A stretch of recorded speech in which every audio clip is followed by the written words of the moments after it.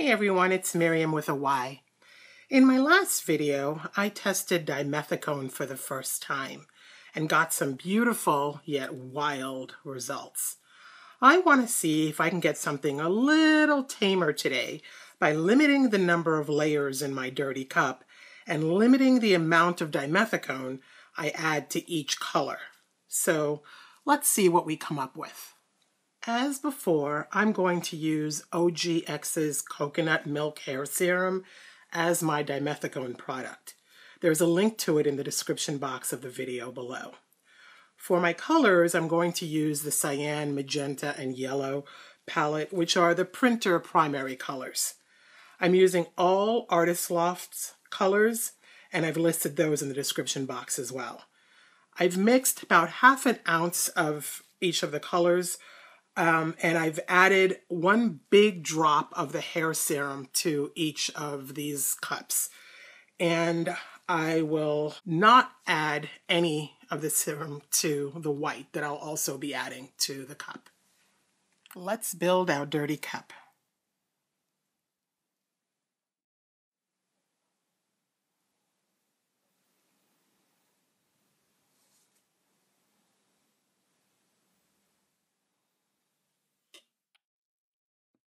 And that's all I'm going to add for layers in this cup. I'm going to spread a thin layer of white paint on the canvas just to prep it for the dirty pour. Okay, the canvas has a nice fluid layer of white and I flipped the cup and I let it sit for a couple of minutes so that the paint could settle. And now it's time to lift it and see what we got. Wow. This stuff just does not know how not to give you cells. Oh my gosh. It's crazy. I put less dimethicone this time, and look at those cells. wow. All right. I am. Mm, I don't even know which way to go now. Well, I'm definitely a fan of blue, so I want to preserve that. My word. There's just no shortage of cells ever with this stuff.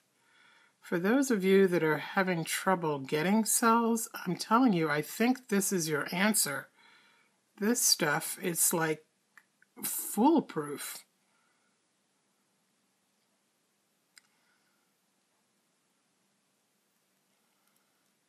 The yellow only seems to have come up in this one little blob in the middle. I'm telling you, yellow blobs haunt me. like they, they happen to me every time I pour. There is something about yellow that just seems to like to mess with me. Hmm.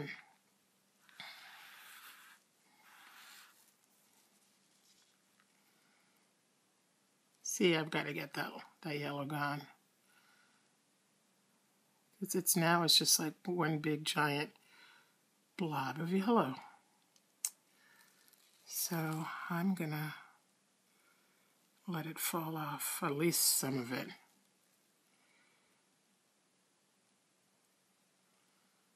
All right, I don't want to mess with this too much more. I don't want to tilt it so much that I lose some of the stuff that I like. I rather swipe out to the edge and maintain what's happened here. This That's really pretty. So I'm going to let this sit for a couple of minutes so that it can move and do whatever it needs to do before I go in and play with it. I still have a little pour in the cup. Hmm.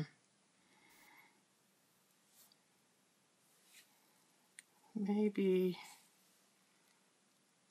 here, mm, here.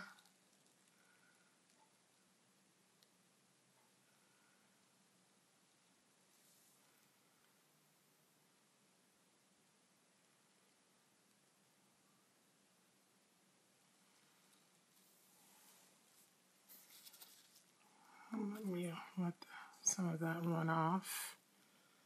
I don't know if I'm going to regret that. I might.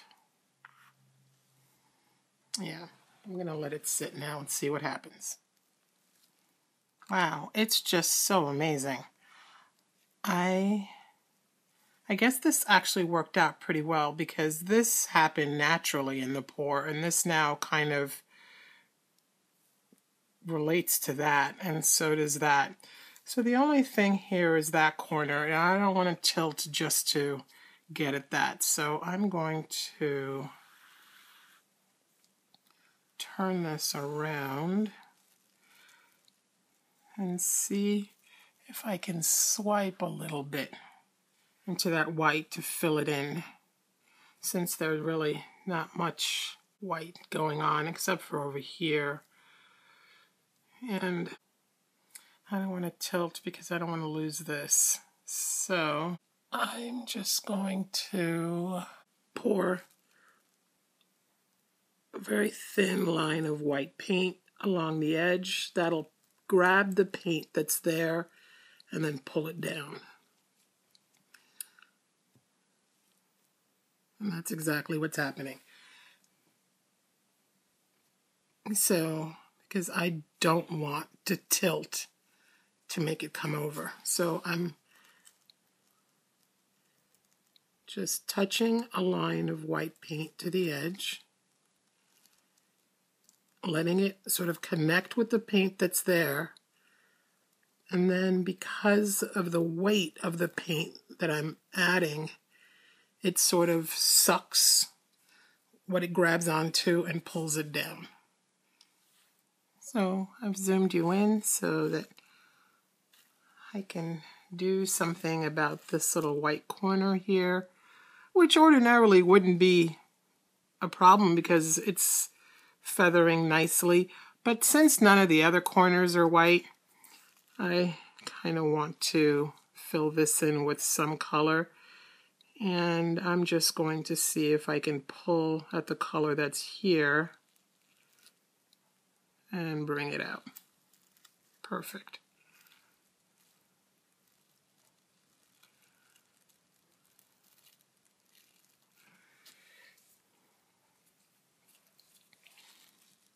Then on this side, same thing.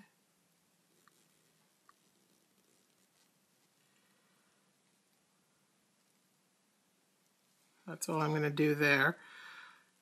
And the paint didn't run off the side here either.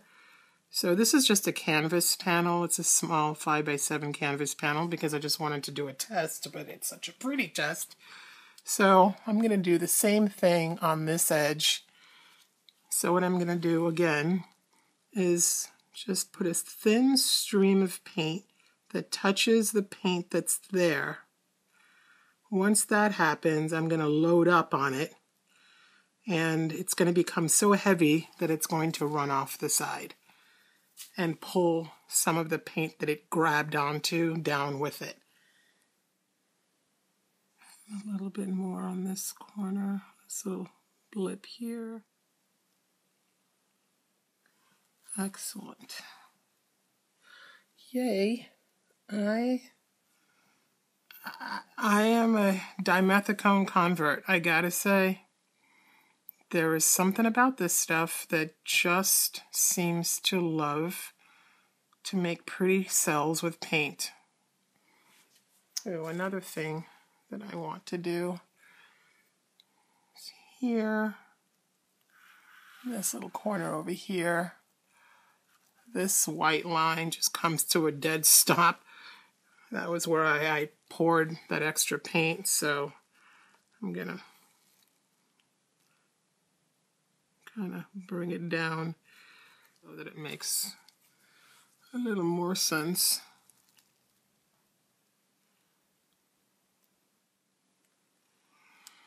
Okay.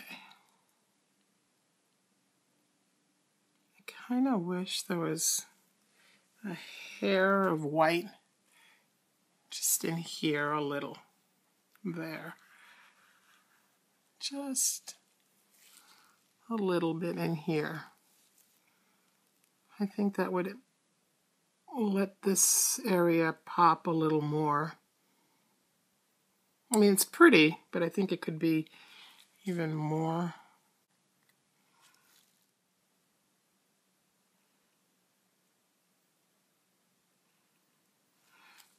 And then I need my skinny skewer.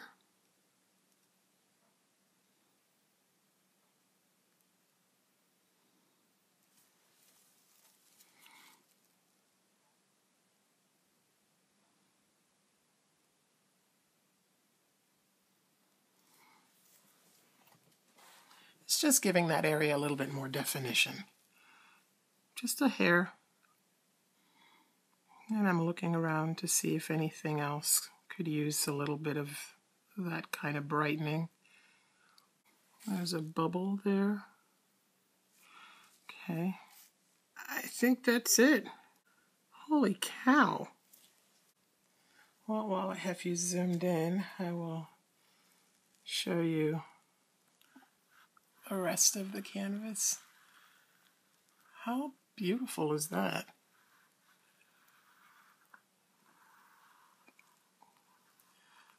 So I wanted to do this as a test before committing to a big canvas with these colors and this amount of dimethicone. This is so vibrant and pretty and happy and whew, it's amazing.